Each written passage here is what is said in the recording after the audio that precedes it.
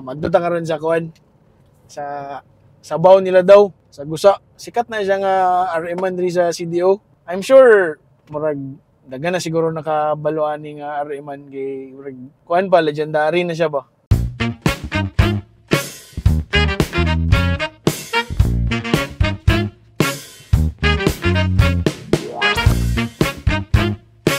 dito gid ko nagdako sa gusa. So, kung mo ni ang ladaw, unahan ana balay ra day namo. So, dito gid may sige kaon sa una sa akong mga amigo dito sa gusa or kung man na akong mga relatives, magpapalit gina sila dito og kuan, RM. Oh, RM.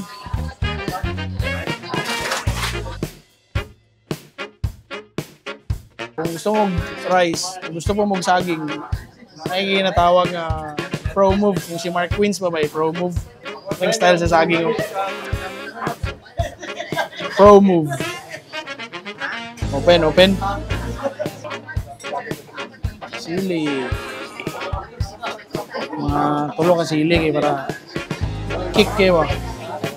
Kung ano mo dre, mag-snack lang mo, gusto mong saging lang. Ano yung ginabuhatan niyo? Pwede ko charo, tinidor kami ito. Tunaon niyo, gusto nga, way. Ano? At, eh.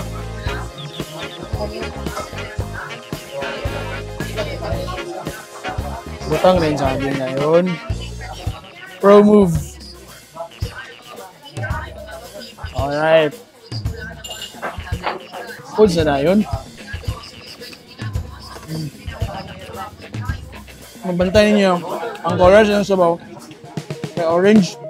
Different kid siya ba? Usually ang color clear lang ba?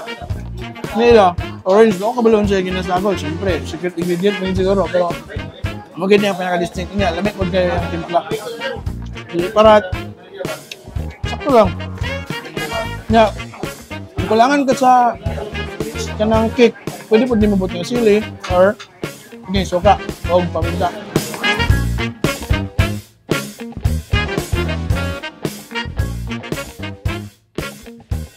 Kita gini nyo nga kadayon ginang ladaw RM kay sila sir dilis tagadi mo sir. Ah, puntod. Katani ko. Oh, layo-layo gidayo. Katani ko og puntod layo-layo pero mani gyud. Sapaw diri. The best of sapaw. Kaon hashtag karon.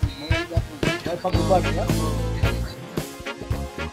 At lagi ron sa Ladaw RM sa Busa. Ah, actually, kanya ko interviewon karon. Ah, legendary ni siya kay sa una, bata pa ko. Kanya man mi gusto pag singko. Ah, siya na gid na perminti na din eh. So, itong interviewon karon si Mr. Joel, Mr. Joel Ladaw. Kano sa gid nag-start ang RM ninyo, sir? Ah, nag-start siya 1983 sa mama pa na ko ang nagkuhan niya ni Planets pa. Without revealing lang unsay mga ingredients, sir. O kanang unsa may kuan nga inani niyo timpla, sir, aman niyo ni nakuha. Actually sa nang iyaan ako na siya. Uh, siya gid nagkontrol sa atin yun. Since 1970s pa ari man ko siya. Sa una mga kwarto mga center lag pa pero karon tungod kay distinct naman kay gud daghan na kay garen, daghan na kaawan. So kuan na siya. Ay ang gag- gagamiton is kanang deep canto na o mga unod na unod sa paa sa ah, ng baka mo na siya ikuan. Oh, sa mga wala nakabalo katong center lag mo na siya ang mga oh, original. Mo daw to original niya. Kuan na siya, kanang genital na siya sa baka siya no. Oh, mga genital sa baka. Pangpakuan daw na, pangpalakas daw yapon na sa mga kuan. Legend has it. Sigurado man ko nga daghan na gid nakabaloan ni dire pero oh, tong oh, tong wala pa kabalo sir. Atong imbitaron sila sir. Ah, katong wa ka pa lumani lang sila dito sa Kadawa rin sa Gusa. Located ta sa Purok 2 Gusa sa Wadakuntan ta sa Kuan. Kalit sa Robinson lang. Ang lang kaya ang Kadawa rin lado naman siya. Pwede gyapon sa kanang sa namoy phone, makita rin mo sa ang, la- ang landmark.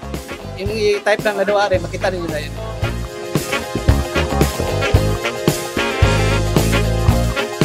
So, nauman naman na diri sa Ladaw RM. Ngita na pud daw lahi nga kananan. Ang sunod to adtuan kay favorite gyapon ako. So, stay tuned.